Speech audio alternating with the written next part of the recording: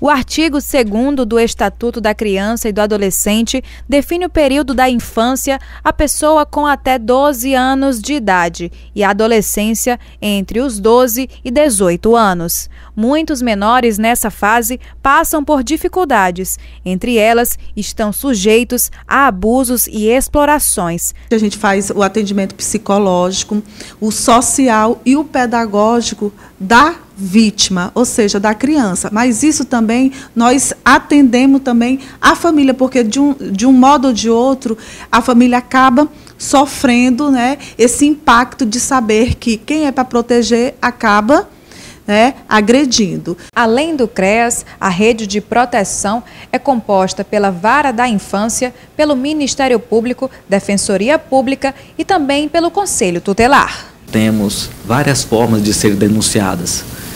É, as crianças às vezes denunciam nas escolas, que são, por sua vez, obrigadas a comunicar ao conselho tutelar ou à própria polícia.